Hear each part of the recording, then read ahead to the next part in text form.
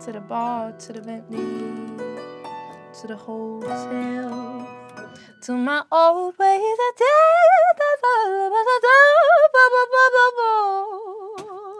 Hi, I'm Raye, and this is the breakdown.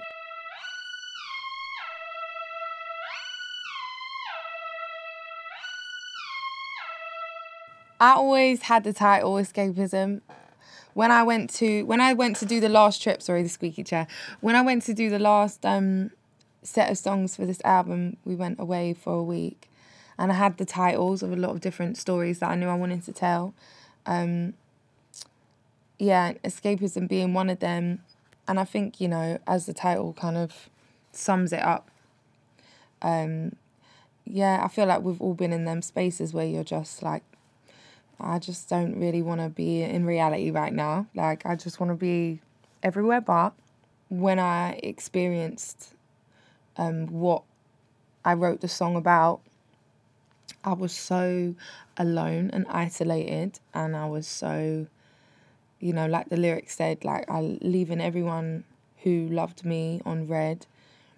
I was just out here. I was outside. I didn't know where I was, and it was a really messy time. And I was at this time releasing kind of, you know, pop songs and dances, whatever, and wearing dresses and turning up like, hi, like, how are you? I'm great. And I just definitely wasn't great. Um, so I really wanted to capture that in a song, but I wanted to be really candid and visceral. I also didn't want it to be a sob story, so I wanted the music to kind of contrast or just fuel the fuel the healing process of the story that I was going to tell. Mike Sabath is a freaking genius child. Like, we met when I was 17. We was just kids, and I remember the first thing I ever heard that he created was the beat to Hard Out Here. Like, I'd left the room I put like a no. I I, left the room and, and then I, I walked in the room and then he was just sat there with like no shoes on, like yeah, like I made the beat and I was like, okay, cool. Like he pressed play and I just looked at him like, who, what? And then since then we've just been like family, you know. That's like my family, and we had created so much music across the years that never came out, but they were my favorite songs. Um, and we have a really beautiful writing and creative relationship where there's just no rules or no boundaries. Um, which is really fun. And this song, Escapism, was the only song on the album where the beat came first. And we was in Felly's car, who's my engineer, and Mike was in out. Mike was in the passenger seat. No, I was in the back. Felly's driving. Mike's in the back seat. I'm sat here, and then he, he played this beat, and I was just cranked it all the way up, windows down, driving through the hills. I was like, what the fuck? And the first lyric came was the rude lyric about the dick line. You know, I'm already acting like a dick. I was like in the car, like, yeah, like I'm gonna be so visceral in this song. This one, I, I, I said in my other interview, I went to the toilet and I was like, dear God, this beat is so fire. Like, I just feel really excited right now. Just bless me and just help me do something great on this. Amen. And then I went out, put put the headphones on, and I didn't take the headphones off until the song was was written. Um, I recorded this kind of choir vocal. I don't wanna feel how I did last night. It's kind of like I don't wanna feel. And um, as we'd structured it before, we we kind of left that section behind. But then as we pitch shift, I was like, we need this kind of like levitating, choiry, creepy thing. So we pitched it down and put it in the key change. Um, but like that alone, like, can I fi- should I find that bit? This.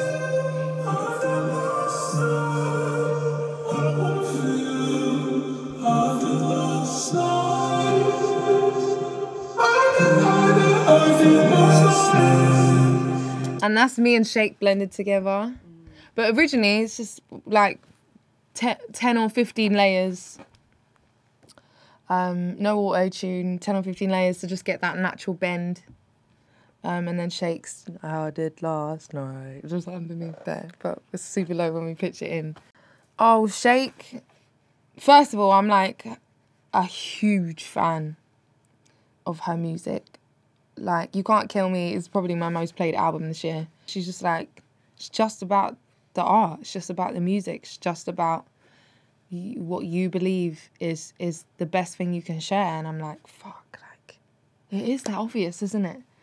But there's so much noise that goes on that, that kind of makes you feel otherwise. And she was just a really important part of my journey becoming independent and refocusing on on on everything that I'd dreamed as a 10 year old girl, you know. Um, so when it came time to kind of thinking about who who I wanted on this album, um, I definitely wanted her. You know, I also wanted friends. I didn't want to like be, please can you do a feature and I'll pay you, and da, da, da, nah, like no, I didn't want none of that. Yeah, so she came and recorded her verse, and she wrote. She's such a fucking artist. She wrote her lyrics on a napkin, and then I picked it up. You couldn't have even asked me to read it back to you. I don't understand any. There was nothing, and it was in different ways, and it was like an art piece. It was given. But yeah, I guess from the creation process to the time that we handed it in for this song specifically was very quick. So you kind of, well, we were so excited about this song that we're just like, let's keep combing. Oh, sounds so good. Play it again. Yeah, I played this one the most for sure out of anything before. Yeah, but so many people heard it as dumb decision, and I was like, I was like, great, let's make it that. Um, but I said, let's just not re-record it. Let's just leave it. I don't know why. I think there's also a thing like when you've captured a vocal in the perfect space and frame of mind. Re-recording is just you lose some of that initial intention behind the lyric that I was really feeling when we recorded it. I felt like to go in and dub it in would have just stolen some of the life from it. So, you know, and I'm such a martyr. I'm so like, you know, I care so much about how vocals are delivered and how it sounds. Like I'll do so many takes to make sure. So when I'm happy with something, yeah, to to have gone in and, and pulled it apart, I just think it would have t- stolen from the integrity of the song by my kind of antsy standards. So I just left it as it was, and um, yeah, the beautiful thing is people made the word what they needed it to be. I saw someone said bum decision. I was like, okay, sure, like you know, fine. Just let it. Music is for you. This is for you now. Do do with it what you want. Sing whatever lyrics you want to sing. I just woke up an hour ago. it's not an excuse, but just a little excuse. Ooh, Sleazing and teasing, I'm sitting on him. All of my diamonds are dripping on him him at the bar. It was 12 or something. I ordered two more wines, cause tonight I want him.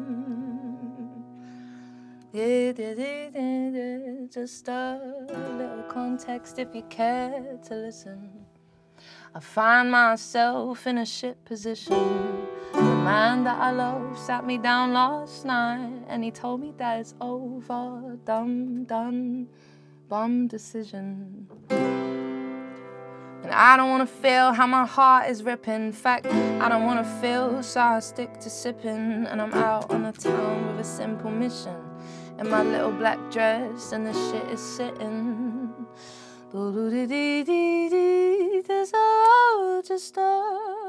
I say dumb decision. Actually, I don't say anything. I put the mic in the crowd. Is that a lie? I need breath there. Do you know how hard this song is to sing live? People need to know this, yeah, because I'm sick of all the passive aggressiveness. When I recorded this song, I wanted the effect of overlapping. I kind of wanted this effect of like just information, lyrics just pouring at you. So I recorded it like this, meaning the the man that I love sat me down last night and he told me that it's over. Dumb decision. By the end of decision, and Adam and and Adam and I, I could have taken the and out and just been like, I don't want to feel how my heart is ripping. But I wanted this intentional like, whoa, whoa, whoa. and I don't want to feel how my heart is ripping. Over the word ripping, matter of fact, fact, I don't want to feel, so I stick to it. It's all overlaps. So fucking doing this shit live, yeah. Wow, breath control. Also, it's all one note. So it's, singing, but it's not singing, but it is singing but it's not, it's confusing. Like when we get to the hook, I'm in a vibe, you know what I'm saying? But even that, I don't feel, did that overlap? I don't feel, doctor, doctor, anything, but no breath, because we recorded it all like this, because that's how I wanted the story to be delivered. But I obviously didn't think about the live repercussions of those decisions. Did last night. I don't want to feel I did last night. I did, I did, I did last night.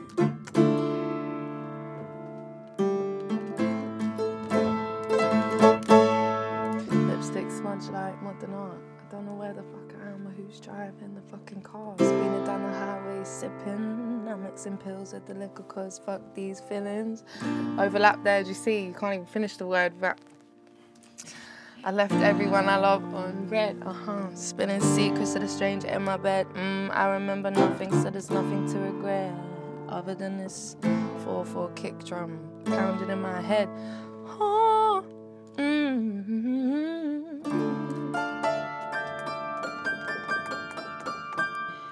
Well, do you know what? In the process, um, before we put the song out, we was actually going to go with a different song first, and God bless Marielle, who who brought me to HR, was like, Raye, like escapism, and I'm like, bro, you're right in it, like this song. And and I think then collectively as a team, we were like, okay, and I was like, I really think we should do this, you know. And they're like, okay. And so I don't think anyone expected it to do what it did.